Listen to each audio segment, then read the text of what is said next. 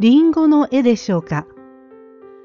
いいえ、これは図工の絵の具を混ぜて塗る学習です。だから本物そっくりの色でなくていいんです。元になる絵を画用紙いっぱいに描きます。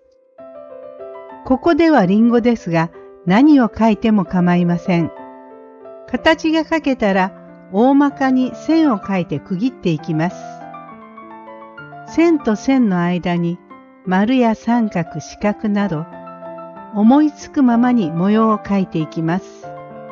線書きは5分ぐらいで描ける簡単なものにしましょう。いよいよ絵の具で塗っていきます。まずは基本の色を決めて塗っていきます。チューブから出したままの色が一番鮮やかです。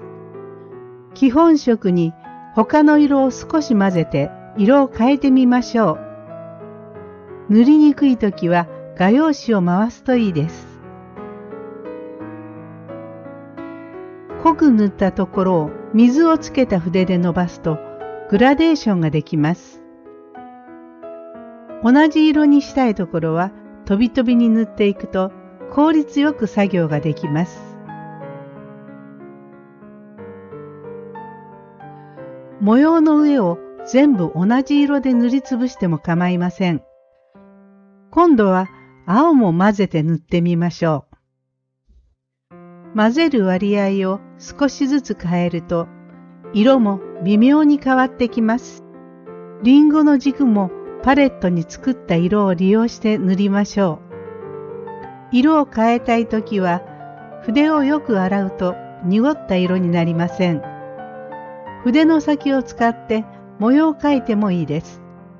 塗りつぶすより早い時もあります。片付けの時間を考えて終了時間を決めておき、時間を確かめながらどんどん書いていきます。